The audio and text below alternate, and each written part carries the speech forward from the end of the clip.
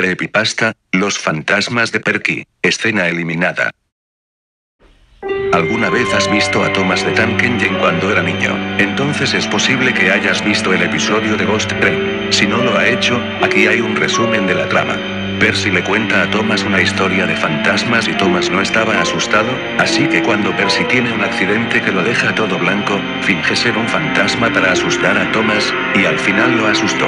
Parece apto para niños, pero hay una cosa bastante morbosa al respecto. Había una escena que faltaba al comienzo del episodio que es un poco espeluznante para que la vean los niños pequeños. Si buscas el episodio en YouTube o algo así, lo primero que te llamará la atención es la apertura. Si quieres verlo, pondré el episodio aquí para ti. La gente lo sabe es porque cuando el episodio se emitió por primera vez en la televisión mostraba la escena eliminada. Algunos niños pequeños tuvieron la mala suerte de verlo. Lo vi con mi hijo. El episodio comienza con un grupo de humanos subiendo a un nuevo tren. Era plateado, su modelo es el mismo para Thomas, pero su rostro era diferente. Tenía los ojos muy redondos y una amplia sonrisa con pequeñas arrugas al final de su larga boca. Tenía el número cero en él, por lo que este debe haber sido el primer tren en el ferrocarril. Cuando todos los pasajeros subieron a bordo, el tren se alejó.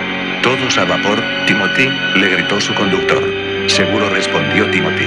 Luego mostró una escalofriante vista nocturna de los muelles. Timothy estaba acelerando a través de este lugar como si el mundo se estuviera acabando. Estaban llegando a su primera parada, pero cuando el conductor trató de hacer los frenos funcionó, pero Timothy siguió adelante. Iba tan duro como podía. Timothy, ¿qué estás haciendo? Su conductor gritó.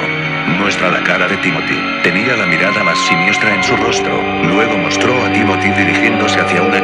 Timothy noroeste, a todos. Su conductor gritó.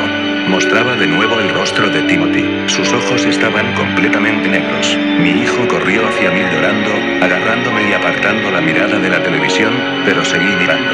Timothy dijo algo, pero su voz es tan profunda y deformada en este punto, que no pude entender estaba diciendo. Mostraba el acantilado hacia el que se dirigía Timothy que estaba a centímetros del borde y mostraba una vista de otros sitios en Sodor. Recuerdo haber visto un depósito de chatarra abandonado, un bosque espeluznante y una vista de la luna, pero aún se pueden escuchar los gritos de las personas a bordo mientras caen hacia la muerte. Luego corta a la parte donde el tren fantasma está en el puente, no cortado. Por la que esto se eliminó porque los padres se quejaron de no ser amigables con los niños y estoy de acuerdo. Busqué en internet la escena que faltaba pero no encontré nada. Contáctame si tienes.